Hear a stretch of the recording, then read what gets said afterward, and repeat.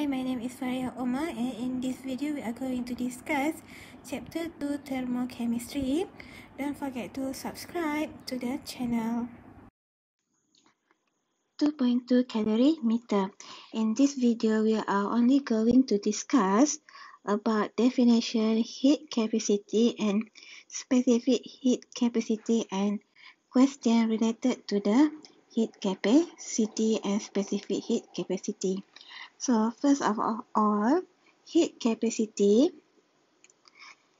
The symbol is capital C and specific heat capacity.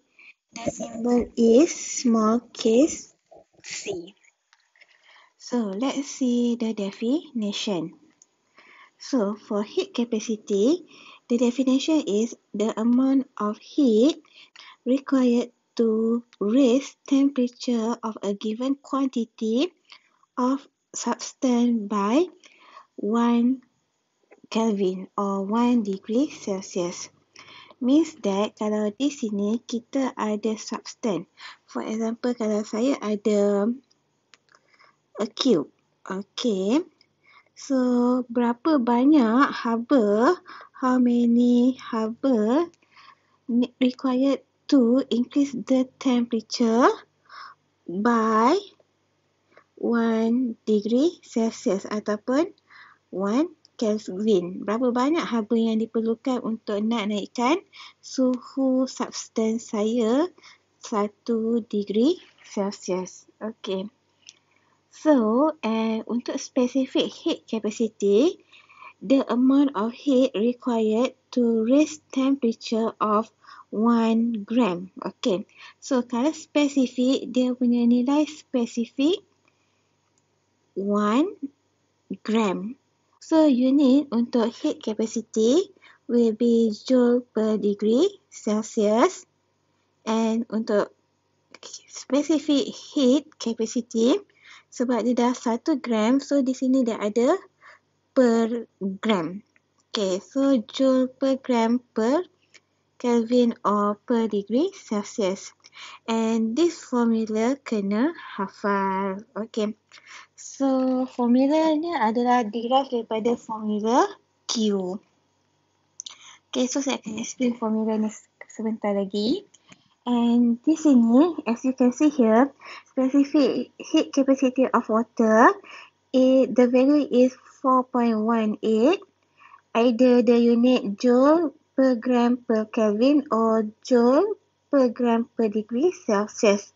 So kalau Kelvin ataupun degree Celsius, the value still 4.18. Okay, so yang ini adalah constant, okay. Dia akan diberi dalam soalan dan diberi semasa PSPM. Kalau semasa PSPM maksudnya di bahagian depan uh, soalan kamu. Okay. So, uh, now heat. Okay. So, bila you belajar tentang heat capacity and specific heat capacity, dalam ni as I told you, dia cerita tentang Q. Okay. So, what is heat ataupun Q dia punya symbol. Okay. It's a form of energy which flow from a hot body, tempat panas, to a cooler body ke tempat sejuk when the two are placed in thermal contact. So haba tu mengalir daripada tempat yang panas ke tempat yang sejuk. And the heat release is equal the heat absorbed. So Q release equal to Q absorbed. So ini sangat penting uh, this is what we call as keabadian tenaga and this is the basic formula that we are going to use in calorie meter. Okay. So now nak you nak cari Q. Okay, so ada dua formula sama ada Q equal to MC delta T or Q equal to C delta T. Okay, macam tadi, C adalah small capital case will be specific heat capacity. And C besar will be heat capacity. So, formula ni macam ni. kalau kamu ada specific heat capacity of water, di sini mesti water. Kalau you ada specific heat capacity, for example, metal A, so di sini mesti mass untuk metal A. Okey, dia mesti sama. Kalau water, so this formula you highlight kan because this formula kena hafal and kena tahu guna. Okay. So now macam mana nak guna? We tengok pada this example. Okay. So now in this example, given to you a mass 50 gram mass of metal was heated.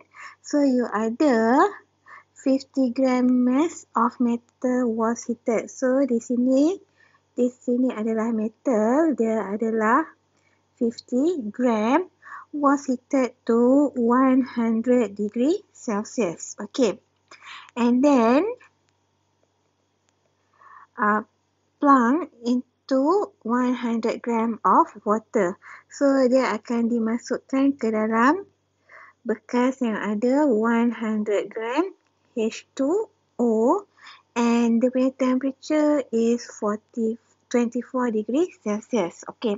So when the metal immerse in the water, dia punya akan jadi temperature dia akan berubah. Okay. So dia akan jadi bila kita ada metal di sini, dia akan jadi 28 degree Celsius. Okay.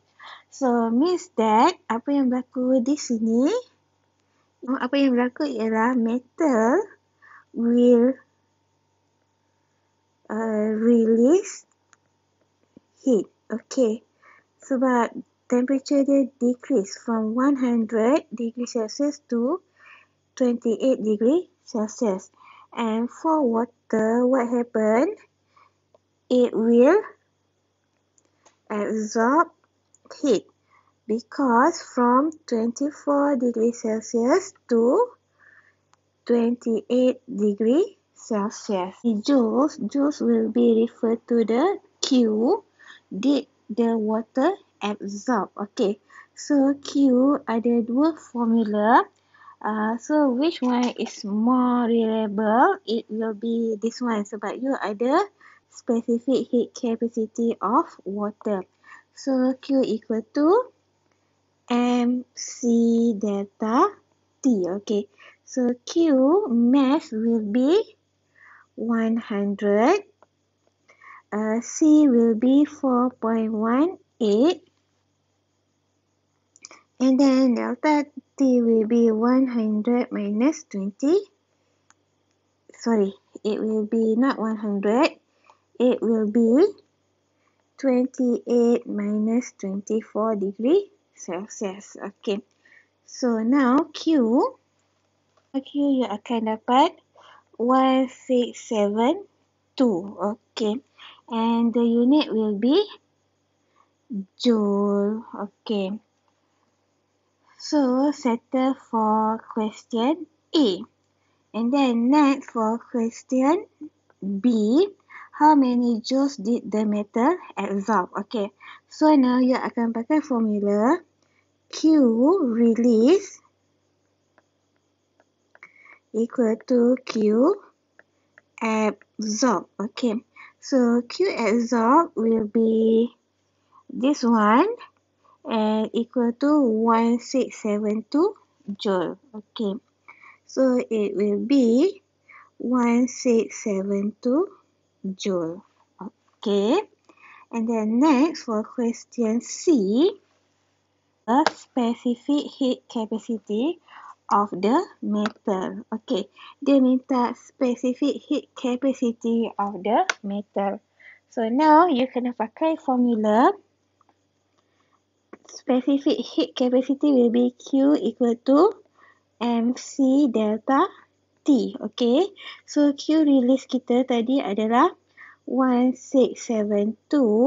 Mass will be 50 gram. Okay. Yang ni tadi unit dia adalah joule. C kita tak tahu. Kita let it be C. And then delta C will be 100 minus 28. Okay. So now kita akan dapat nilai C. Okay, the value of C is 0.4644 and the unit will be uh, joule uh, per gram per degree Celsius. What is the heat capacity of the metal? So dia tanya heat capacity of the metal. So heat capacity will be capital case. Okay. So now you boleh pakai formula yang mana? So you can choose this formula. C equal to CMC. So you akan dapat untuk D C equal to MC. So this is your C 0.6444 equal to mass dia adalah 50 gram and then this one is C. So your C will be so this is your C. And the unit will be joule per degree Celsius. Okay, so that's. Please like, share, and subscribe. Thank you.